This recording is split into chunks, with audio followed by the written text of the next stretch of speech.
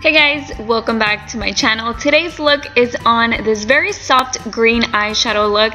I wanted to do something with a little bit of color, so I decided to go for green. The first thing that we're going to start off is with the moisturizer and also my lip balm. Um, right here I don't show the clip where I apply the moisturizer on my forehead, but I promise you that I did. The lip balm that I'm using is by Marc Jacobs. I will have all of the products that I use in the description box. I'm gonna do my eyebrows and bam, they are done really fast. I wish it was that fast. and then I'm going to use my MAC paint pot in the color Painterly just to eliminate the different colors that I have on my eyelids because they're not one solid color. And I'm gonna be using this nude shade all over my eyelid first because I want to set the primer that I used. So that is what I'm doing. I'm just setting the primer. The next color that I'm going to use is this very, very light brown, and I'm going to use that as my transition shade, and so that way everything looks very soft. I don't want to do anything too dark. This is pretty much an everyday type of look, but just using a little bit of color. I'm going back with the light shade that I used at the beginning, and I'm going to pack that on my eyelid because I want that to look very, very bright, and I like the look of it. So that is what I'm doing there. Make sure to pack it on, and then make sure to blend it out. The next color is the green one and this is the fun color. I'm going to be going back and forth with this color. I'm going to do a little bit of the green, blending it out, and then I'm going to add more and I'm going to keep blending it out because I really want it to show up, but I don't want it to be just like, bam, I have green. I really want it to look soft. So that is what I'm going to be doing there. By the way guys, I recently waxed my eyebrows and I of course waxed the middle section. Even though I don't have a lot of growth there, like hair growth there, I still like to wax it just to make it look clean. And I completely broke out. So I'm wondering, what do you do whenever you break out, whenever you use wax? Usually I clean my eyebrows with the tweezers as much as I can, but whenever I feel like they're not clean enough anymore and they're not looking good with the tweezers, I go ahead and I wax. I know this is way out of the tutorial tutorial, but I'm just asking, what do you do whenever you break out with the wax? Let me know in the comment section. I would love to hear your suggestions. So let's go back to the tutorial. I am still blending out because, like I said, I want it to look soft, and you can do this with any color. So it doesn't have to be green. You can do this with any color. It could be purple, it could be burgundy, it could be anything you want, and I promise you that it will be a very wearable look. Again, I'm packing on the light color also in the inner corner because I want that to look very bright.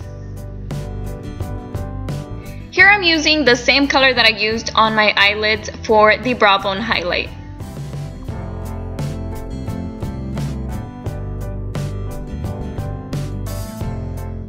Next is time for foundation. I'm going to be using my brush and this is the new CoverGirl foundation and I'm applying that all over my face. I actually like the turnout of the foundation now.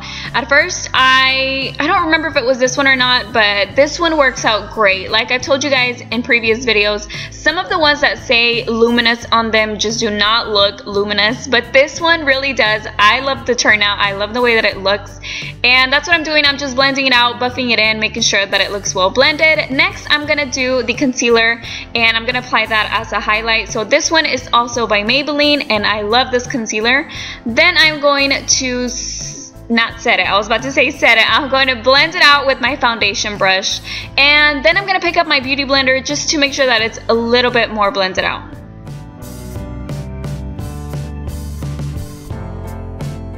To give my skin more brightness, I'm using the Brightener by Maybelline and it is the Age Rewind. And I'm going to blend that out with the Beauty Blender. I love this brightener. It is awesome. You guys should definitely try it out. I'm going to set everything with my MAC Select Sheer Pressed Powder. I'm using that all over my face and then I'm going to pick up this small brush and set my under eyes. It works out great for both so I use it. I'm also using this NARS eyeliner for my waterline and then this NYC liquid eyeliner that I have been using over and over again. I love it. I was using all the time the Lorac, the pencil type of eyeliner and even though I love that, it's easy to use, I missed using using one of these and I decided to pick this one up because I needed another one. I needed a new eyeliner since the other one's running out and I love it. So you should definitely try it out. Now I'm going to be going back to the light brown shade. I'm going to apply that on the lower lash line and at the same time blending it out with this very short fluffy brush. Then I'm going to pick up the green one and do the exact same thing as well as blending it out so that way you can't see the difference between the two colors. Next, I'm going to be doing the contour and I'm using the Anastasia contour kit and I'm going to apply that on the hollows of my cheeks, on my temples, around my hairline, and just everywhere where I usually do the contouring.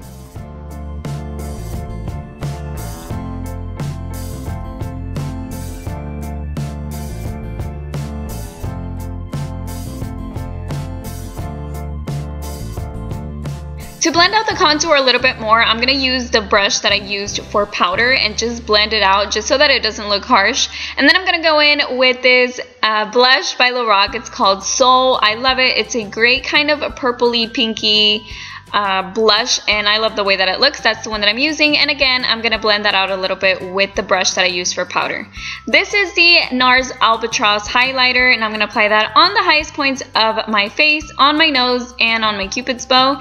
And then I'm going to curl my eyelashes. I am going to be using these falsies today. I don't know the name of them. I do have the number only but I don't know where my sister got them from. She gave them to me and I wish I knew because I love them and I need more. This is the nude lipstick that I decided to wear by Wet n Wild, but it's too nude for me, so I decided to go over it with the Peachy Lip Lacquer by Rimmel. This is the complete look. I hope you guys liked it. I love the way that it turned out just because I know that I can wear colors on my eyes without it looking too drastic. I hope you guys enjoyed it, and I will see you all in my next video. Bye!